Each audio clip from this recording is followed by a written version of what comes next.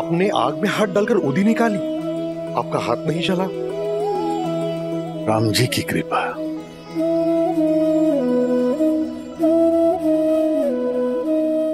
साईं आप तो इतने चमत्कार करते हैं।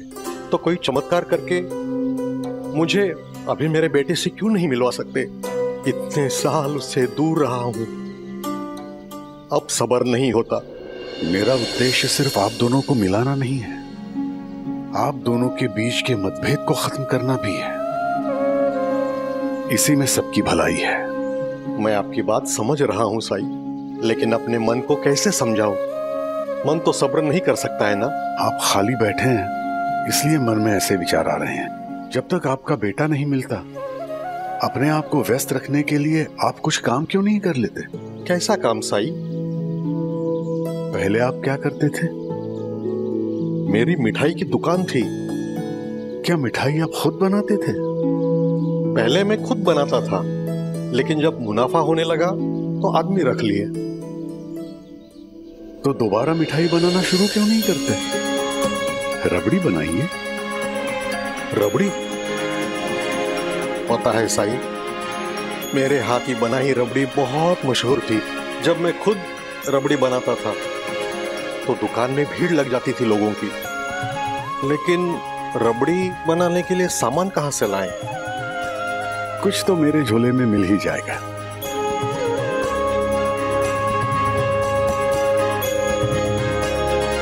उसे आप इसमें खाली कर दीजिए।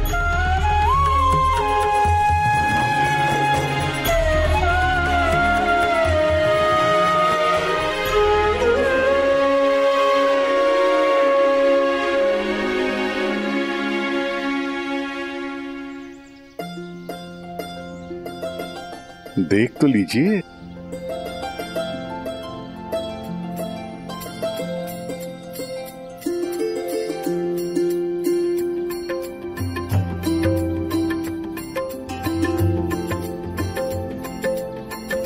और भी है।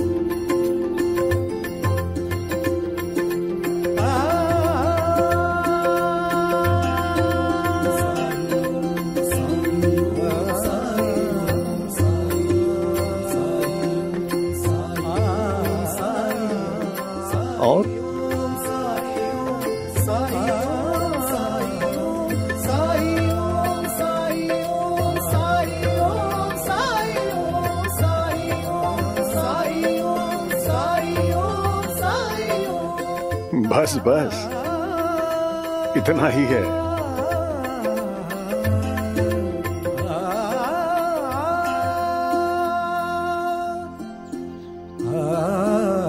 साई गुड़ तो मिल गया। अब दूध का क्या?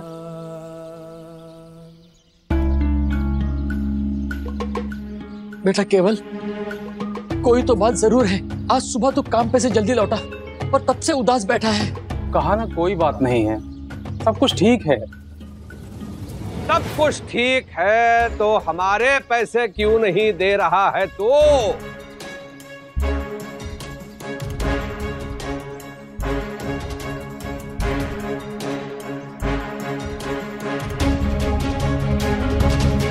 कैसे पैसे सरकार? हरिओम हरिओम। अद्भुत। हाँ? अद्भुत। हमसे उधार लिए और भूल भी गया तू।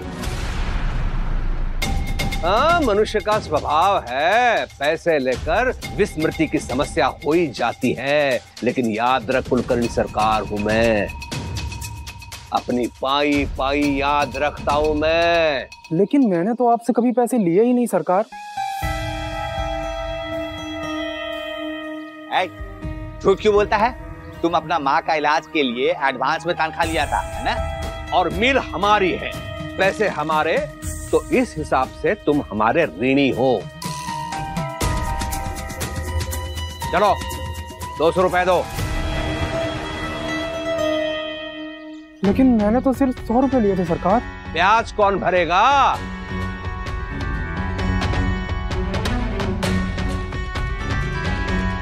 सौ पे सौ रुपए ब्याज। आए मिल हमारी पैसे हमारे हम जितना चाहे ब्याज ले। है कि नहीं? बिल्कुल। हाँ? ठीक है मैं पैसे चुका दूँगा सरकार। कहाँ से चुकाएगा तू? है? चुका दूँगा? कहाँ से चुकाएगा? नौकरी तो चली गई तुम्हारी। गई नौकरी।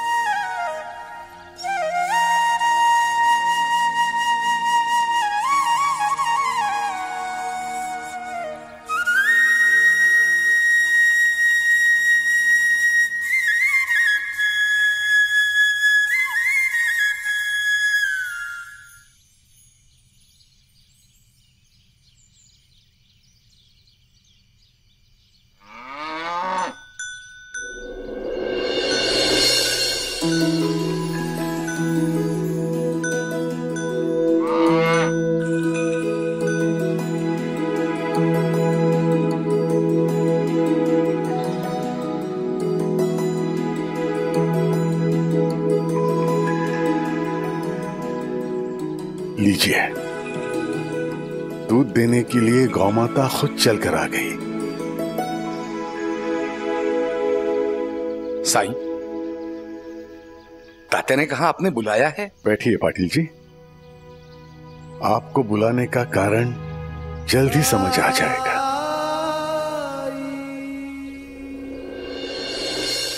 सरकार हम थोड़ा उधर चल के बात करें। उधर चल के क्यों? मुझे साक्षीदार चाहिए अपनी इस बातचीत के।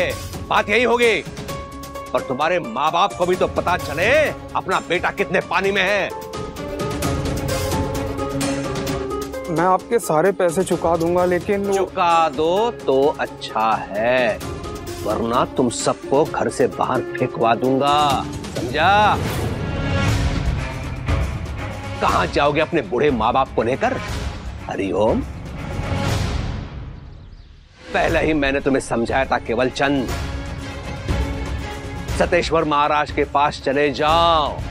तुम्हारे जैसे वास्तुकार की उन्हें आवश्यकता भी है। कहा था कि नहीं? नहीं सरकार। साईं ने मुझे समझाया है कि मेरा उनके पास जाना सही नहीं होगा। ठीक है। ठीक है। आज शाम तक पूरे पैसे लौटा देना। दो सौ रुपए। नहीं तो ये घर हमारा। आज शाम तक कैसे सरकार? जाकर अपने उस फकीर से पूछ। लेकिन चमती कैसे छिड़के हैं? बड़ा आया है।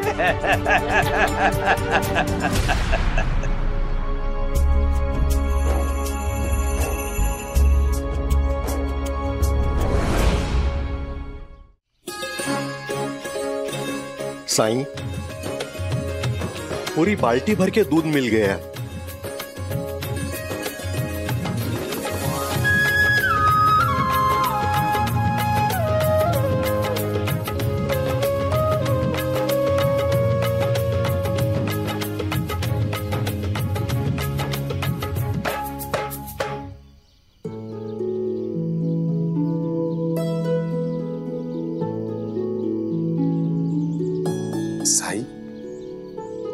आपने बताया नहीं कि काम क्या है। थोड़ा सब्र कीजिए पाटिल जी। नहीं नहीं साईं मुझे रुकने में कोई एतराज़ नहीं है। बस मैंने गोपीनाथ को कहा था कि मैं उसके साथ राहता चलूँगा। तो वो इंतज़ार कर रहा होगा इसलिए बस। बस थोड़ी देर और।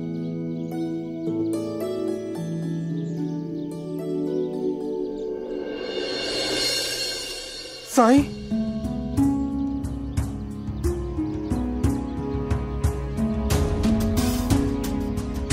साईं, मेरी क्या गलती है? क्या पाप किए हैं? मैंने इतना परेशान हो रहा हूँ।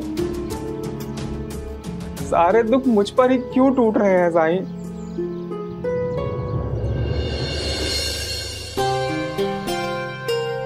केवल सबके जीवन में सुख और दुख आते हैं। जब दुख आते हैं तो हम सोचते हैं कि सारे के सारे दुख हमें ही मिल रहे हैं। कारण समझ नहीं आता। लेकिन जब इंसान खुश होता है तो ये नहीं सोचता कि मुझे इतनी खुशियाँ क्यों मिल रही है। सोचता है, कितने इंसान ऐसे हैं जो तकलीफ़ में ईश्वर से सवाल पूछते हैं, ईश्वर पे सवाल उठाते हैं। दुख से बाहर निकलने के लिए ध्यान जब तब सब करते हैं।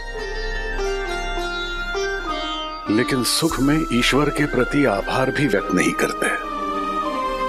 क्योंकि वो अपने ही सुख में खोए होते हैं। तभी तो कबीरदास जी कहते हैं, दुख में सुमिरन सब करे, सुख में करे न कोई। जो सुख में सुमिरन करे तो दुख काहे को हो?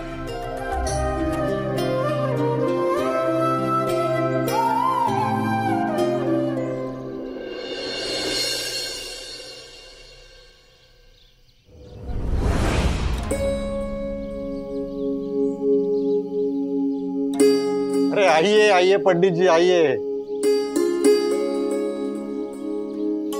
रामकिशन जी मंदिर में दिवाली पूजा है।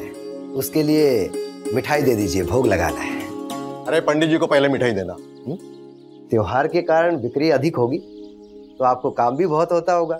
इसीलिए तो हर काम के लिए लड़के रखे हैं। लेकिन पहले आप हमेशा महालक्ष्मी जी की पूजा के लिए खुद अपने हाथों से रबड़ी बनाते थे और महालक्ष्मी जी को प्रसाद चढ़ाते थे। उन्हीं की कृपा से आप इतने बड़े हलवाई बने हैं। अब कभी क्यों नहीं खुद अपने हाथों से मिठाई बनाते? पंडित जी अब मैं हलवाई नहीं मिठाई की दुकान का मालिक हूँ। ये छोटे मोटे काम मैं नहीं करता। लेकिन लोगों को आपके हाथ की मिठाई पसंद है और भगवान को भी। अगर अच्छी लगती तो भगवान मुझे ऐसा मनहूस बेटा नहीं देता। जब से आया है पूरा ही बुरा हो रहा है। जी करता है उसे उठा के घर से बाहर फेंक दूँ। उसके होते हुए अगर मिठाई बनाऊँगा ना तो वो भी खराब ही बनेगी। राम के देखिए पंडित जी आपको भोग के लिए मिठाई चाहिए कि नहीं? आपसे और बातें नहीं कर सकता। आपके पीछे और भी ग्राहक खड़े हैं। भगवान आपको सद्बुद्धि दे।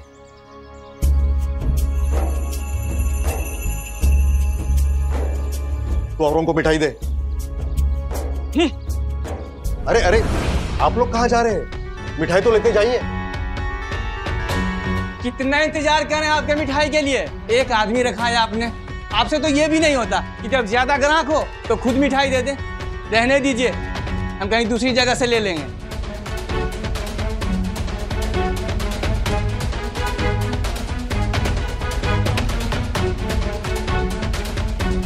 इससे बेटे का ज़िक्र किया, ग्राहक चले गए।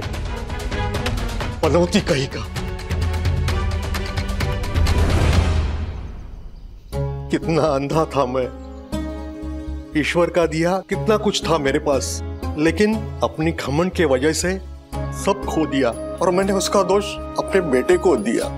ईश्वर को प्रसाद चढ़ाना भी बंद किया, तभी तो ईश्वर ने मेरे साथ ये सब किया। क्या आपको लगता है कि ईश्वर, जिसने इस ब्रह्मांड की रचना की, इतना तुच्छ है? कि प्रसाद ना चढ़ाने के लिए आपको सजा देगा।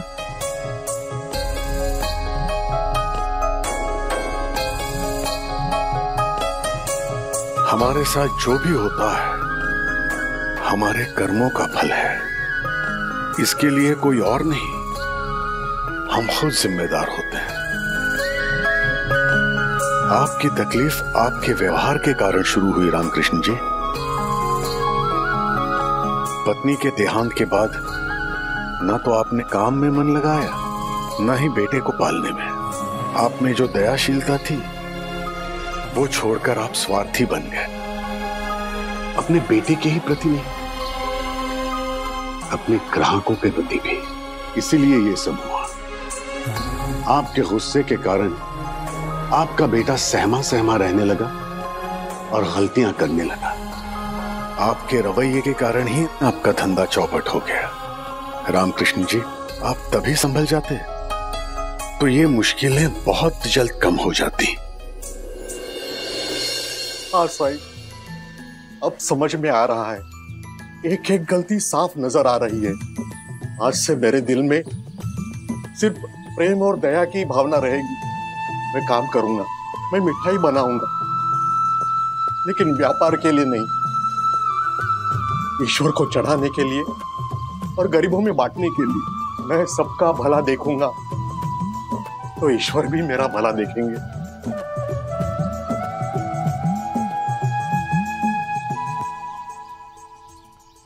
लेकिन साई मैंने तो ऐसा कुछ भी नहीं किया बल्कि अपने सपने को अपने आई बाबा के खातिर कुर्बान कर दिया। इसीलिए तो तुम्हारे यहाँ आने से पहले ही तुम्हारे लिए सहायता पहुँच गई।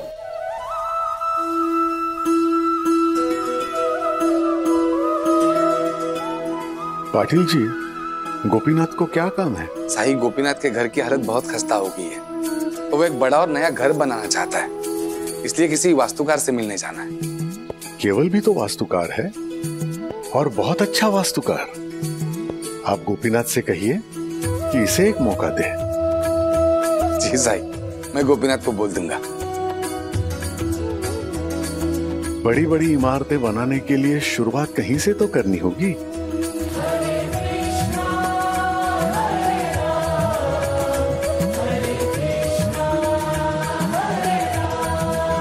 क्या गोपीनाथ जी कुछ पैसों का अग्रिम भुगतान कर सकते हैं? क्यों नहीं केवल? मुझे तो स्वयं गोपीनाथ ने कहा था कि जिस किसी को वो ये काम देगा उसको वो दो सौ रुपया पेशगी देगा।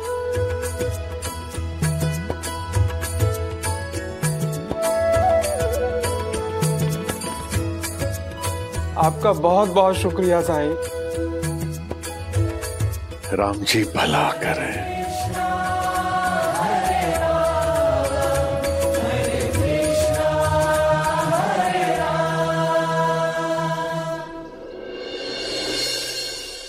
हरिओम हरिओम।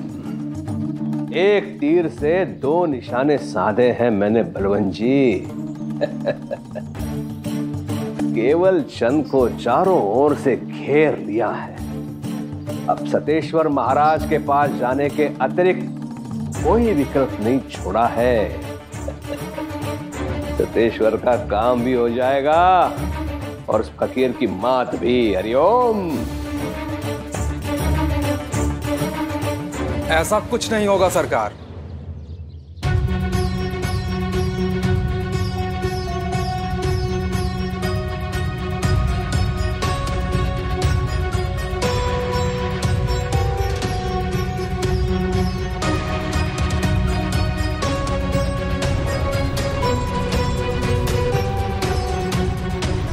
मुश्किलें बाद में आती हैं, लेकिन साईं उनका समाधान पहले ही निकाल देते हैं।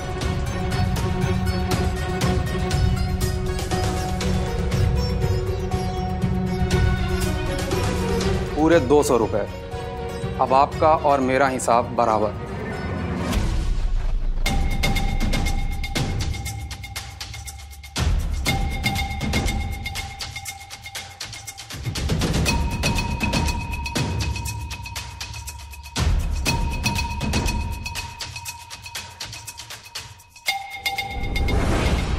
शाम को आकर कागज़ ले जाना। ठीक।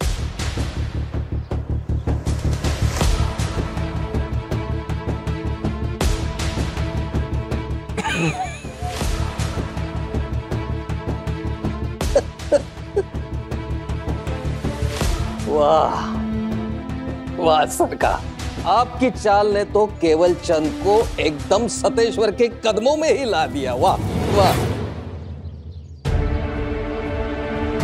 इस बार मैं हार मानने वाला नहीं हूँ, बलवंत जी। देख लीजिए। अच्छा। मतलब क्या करने वाले हैं आप? कर चुका हूँ।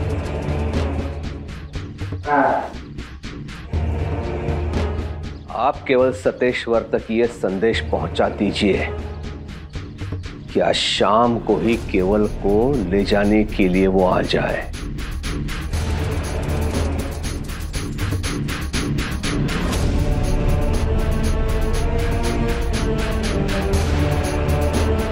हरिओम।